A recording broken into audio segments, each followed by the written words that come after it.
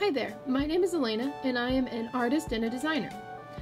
Today I'm going to do a tutorial video on how to make your own book. The type that we're doing is called the Sewn On Tapes and it's a super old traditional sort of book that is actually used a lot in movies as props. So it's super cool and I hope you enjoy it.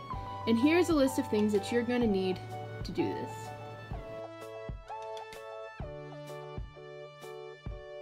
So first you want to make your signatures. I'm just using regular 8.5 by 11 white paper. You can use whatever you want. And I'm folding it in half. And then I'm taking this knife, which is called a fettling knife. It's a cheap knife I got off of Amazon and it's meant for clay and that sort of thing. It's not very sharp, but if you don't want to buy one, you can just use a butter knife. Um, and then I'm just taking the folded sheet of paper and ripping through the edge. You can measure it out and cut it with an X-Acto knife if you want a nice smooth edge but I kind of like the rough texture myself and I'm too lazy to bother with all that measuring. Anyway, then I fold it in half again and use a bone knife, but you don't have to. A bone folder, whatever. Anyway, then you do it again with a second sheet of paper. And you have the makings of a signature. Open your first paper, put it in the right way, and there you go a complete signature. Mine has eight pages total, technically 16 front and back. Um, and I'm making seven more, but not showing that because it takes forever. Then you're ready to make your pattern. Take a half a piece of paper and fold it in half and then fold that half in half. And mark on the edge about a centimeter away and then flip it over and mark the same spot on the other side. Then take your ribbon and put it down where you want it a little closer to the middle and mark on either side of that. Then you want to flip the paper over and mark on that side as well. You want it marked in the same spots. Then you'll unfold your, your half and then unfold it again. And I like to draw all the way across the edge because it makes it easier to see. Then you just fold it back the other way, like so, and you have a complete pattern. I'm using this piece of foam because it makes it easier to stab through, but you don't have to if you don't have one and don't want to find one. Then you just take your signature and you insert the pattern and make sure that the spines are aligned because you don't want to get off the spine. I'm using this awl that I got in a bookbinding kit on Amazon. It was really cheap if you want to get it. If you don't, that's fine too. Uh, and then you just stab through the lines where they cross the spine and you want to make sure they're on the spine. There you go though. You have a signature. Now do this with all the other ones. You can use seven or however many signatures you want. And they should be all basically aligned when you finish. You want to make sure it's basically a straight line. And you want to make sure that your ribbon fits. If it doesn't, you've got a problem. But now we're ready to sew. So the first thing we do is get our wax linen thread. I got this in that kit too and you want to go the length of your book however many signatures you have. So I have seven signatures, so I'm going the length of my book seven times. But I'm paranoid and like to have extra thread, so I'm going two more times than I need to, so a total of nine. Then you get your needle. I'm using a thin one that also came in that kit. And thread the needle So you want to come through the outside to the inside on the top hole. And when you come through, make sure that you leave a fair amount of thread on the outside at the tail so that you can finish off the book when we're done with all the other signatures and everything's all sewn in. So then you just want to go down to the next one and come out through it. Make sure it's snug. And then get your ribbon and place it where you want it and go into the hole on the other side. It's a pretty simple process. It's a basic back and forth, up and down sort of thing. You just go into one hole, then out the next hole, and then into one hole, and then out. In, out, in, out. Not too hard. So you want to go from the inside out, and add your other ribbon, and then go inside on the other side of that.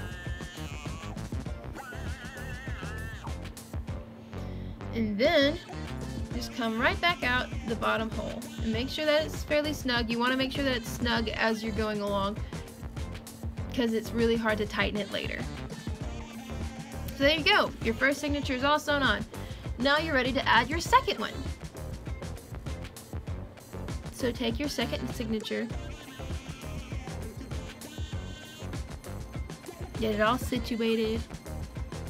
Woohoo. Okay, here we go. Now you're all lined up and you want to go from the bottom hole of the first one to into the bottom hole of the second one.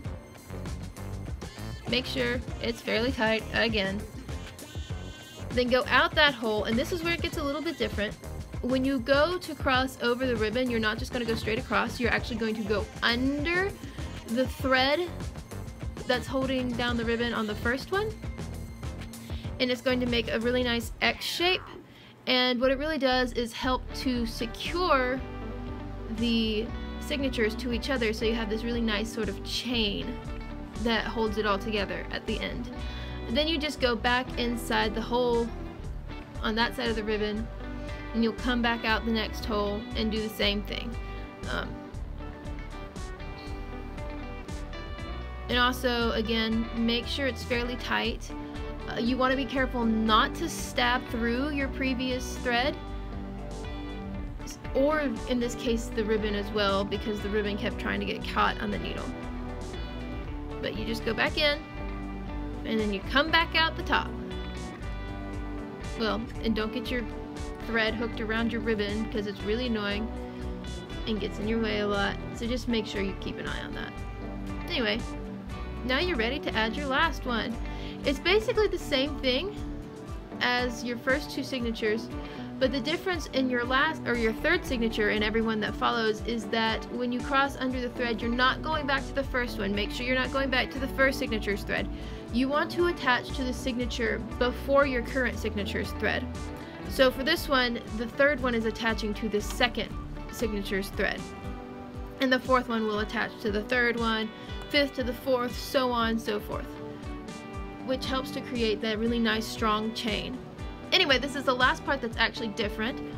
You're going to go under the stitch that's holding signatures one and two together and then come across and go into the fourth signature. And you'll do that at the top too every time you add a new signature.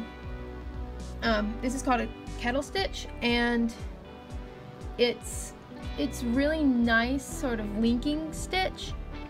It looks nice and it kind of creates another chain across the bottom to make sure that it all stays together and doesn't flop or anything like that. And so you, after that, all the stitches are the same and you just do that for every single one. Once you've gotten all your signatures attached, go back around with your thread and needle and basically kettle stitch all across the bottom and the top line of stitches. You can go as few or as many times as you want to. I go a lot because I'm paranoid and I like it to be super secure and I just feel emotionally better. If I go a lot, it probably really doesn't actually make a difference. I just do. And when you're done with that, snip it off. And this is where that tail comes in. You want to make sure that you have enough to go across because you're just going to do the exact same thing you did at the bottom. Just stitch around the previous stitches. Uh, you can tie a knot if you want to, but this is the way I always do it. I also like to put glue on it, which I didn't show, because it just makes me feel better emotionally. I'm insecure, and I need a lot of reassurance that my book isn't going to fall apart. But there you go. Once you've snipped off the excess, you have your book. You have that really nice sort of X chain pattern on the on the edge there, on the spine, and you're ready for your cover. To make your cover, put your paper down on your book board and just trace around it. For the top, front side, and bottom side, you want to make sure that there's about an eighth of extra space, an eighth of an inch of extra space, and then you want to just let the back be flush to the book and then cut it out. You can use a saw or an X-Acto knife, which takes like a hundred thousand strokes, but it's easier. And yeah, that's how I did it. Then you want to put down your ribbon and trace around your ribbon. And make sure that you label your book board, which side's going to be which and which one's up and down. And also put that on the ribbon because it's easy to lose track of that. And then your ribbons won't be aligned with the board and they won't attach right. Anyway, next you just want to cut a couple layers off of those trace spots where the ribbons will be so that the, the uh, cover will be flush and not bumpy.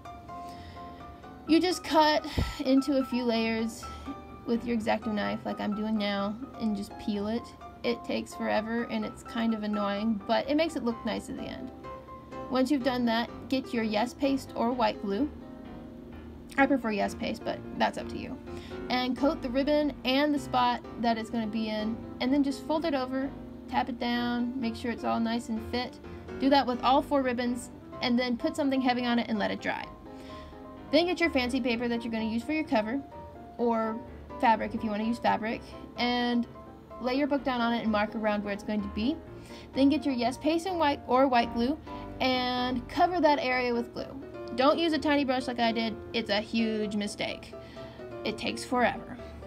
Once you've gotten it all nice and glued, put your book down, make sure it's secure, make sure your emotions feel good about it, and then put wax paper around your actual paper and close the book and work the bubbles out from under the paper. You want it to look nice and flat when you're done and not bubbly so you just kind of want to do that. And then if you're like me put wax paper on top of the paper so you feel better and put something heavy on it let it dry. Once it's dry mark out an area around the book about an inch or so more if you want that you want to fold in then trace it out cut it out cut off the excess paper so that you just have your book and the one inch or so of paper or fabric around it. Then you want to go into the corners and cut the corners off.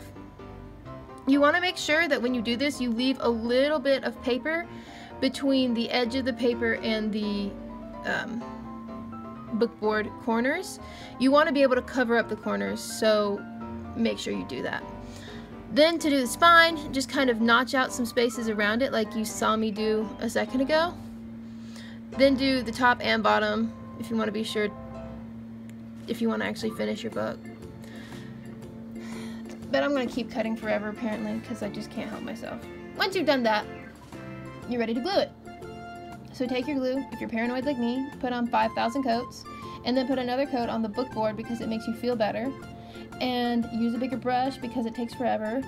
Fold over the paper and just try to make sure it's nice and neat and tight and tidy. Um, make sure your edges are all clean and that your corners are covered. Just kind of fold that in. Well, after you finish gluing.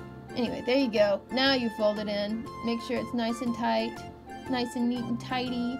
Do it again for the top, and then once you finish the one side, do the other side of the bookboard of your cover if you want it to be finished. You don't have to, I guess, but it would not look great. But there you go.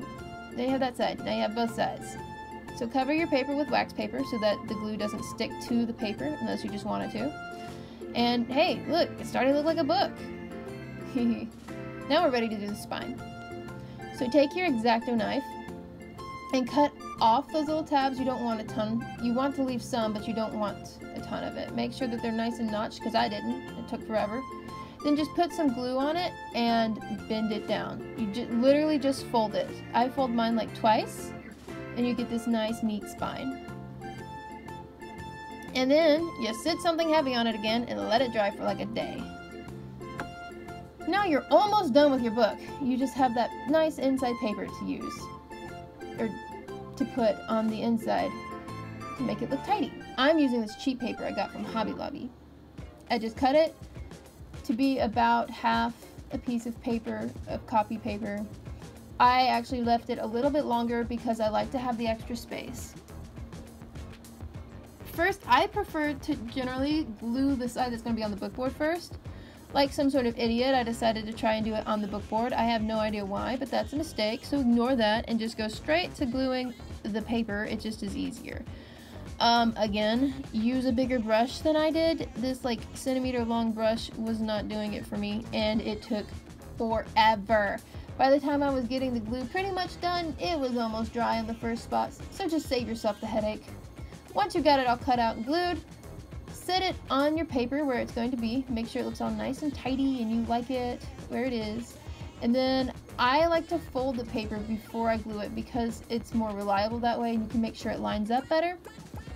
So just fold the paper over and then you get to do some more gluing. Aren't you so excited?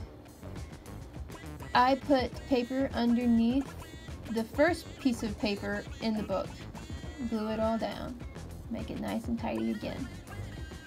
Again, bigger brush. We're still gluing. Okay, no. Okay, oh, no. Okay. Okay, now we're ready. Put your wax paper underneath that half and push them together. Make sure they're nice and tidy and lay nice. And then put your wax paper around both sides of that piece of paper. Flip it over to the other side. Put something heavy on it and let it dry. And now we're pretty much done. We just have that one little thing left to do.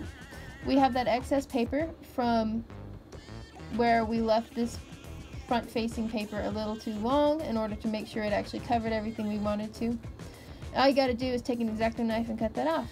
And see, now we're done. We have a nice, neat, tidy book. I actually really like the way this one turned out. I think it's pretty and neat and tidy.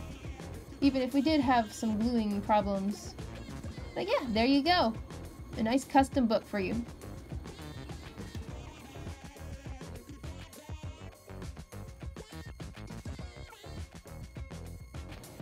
Thank you for watching this tutorial video on how to make your own book. I hope you enjoyed it.